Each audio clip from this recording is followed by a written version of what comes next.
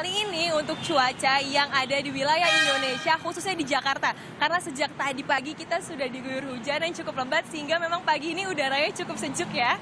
Nah, eh, berdasarkan peringatan dini informasi cuaca dari Badan Meteorologi, Klimatologi, Geofisika, adanya potensi hujan lebat, petir, dan juga kilat di beberapa wilayah Indonesia. Yaitu eh, pertama kawasan Jabodetabek, Jakarta, Bogor, Depok, Tangerang, dan juga Bekasi e, berindikasi akan diperkirakan akan adanya hujan ringan dan juga hingga lebat dari siang hingga malam hari. Dan juga untuk e, wilayah-wilayah lain yaitu seperti di Kalimantan, e, di Kalimantan Tengah dan juga di Kalimantan Selatan diperkirakan hujan yang cukup lebat dan juga intensitas tinggi dan juga di wilayah di wilayah Sumatera Utara, Tengah seperti di Medan, Palembang diperkirakan asap, berawan, dan juga di Bangka Belitung.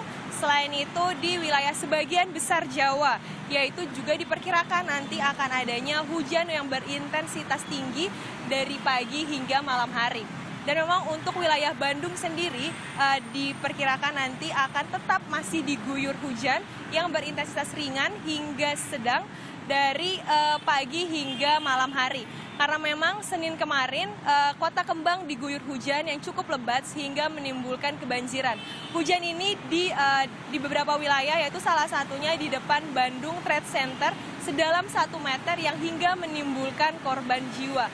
Nah, oleh karena itu memang dengan meningkatnya uh, hujan ini dan kita sudah memasuki musim hujan, maka akan juga meningkat potensi bencana hidrometeorologi.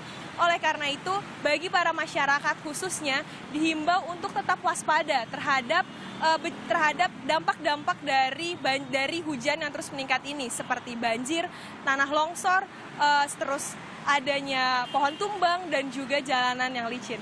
Ya, Zizi.